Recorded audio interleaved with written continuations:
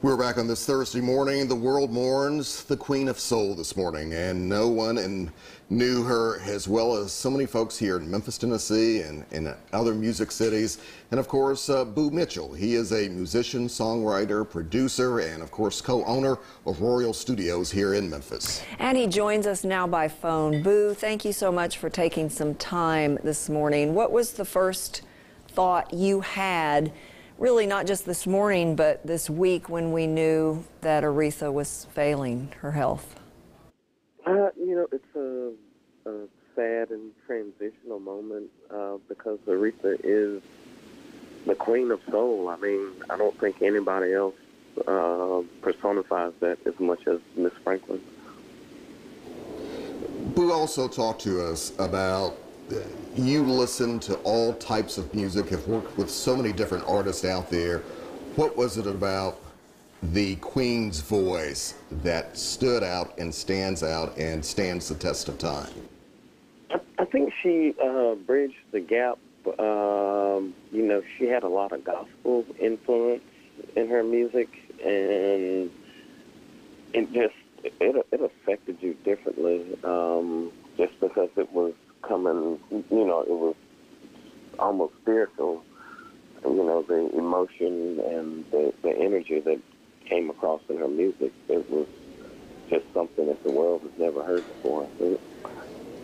What was it she had? You know, we've talked so much about Elvis Presley this week because, of course, today is the anniversary of his death. Um, what was it about her. We, we've always, I've always at least, tried to figure out what he had that was so incredible. What was it about her that was the same? I think Aretha had this huge uh, personality, and she was, you know, she believed in herself. She had the confidence, um, and she she was a powerful woman, um, and she opened the door for a lot of uh, musicians. She opened the door for a, a lot of uh, female singers and entertainers that just hadn't been open before, and she wasn't the one uh, just hearing stories from my mom and dad. She wasn't the one that would take any crap.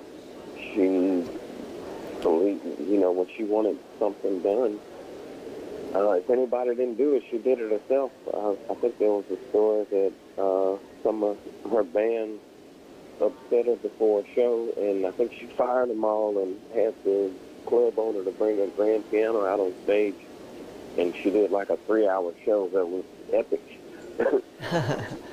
wow. Wow. So, uh, Boo, before we wrap things up with you here, is there anybody else on the level of Aretha, or is she definitely a one of a kind? I mean, there's some great artists out there, but there will only be one Aretha Franklin.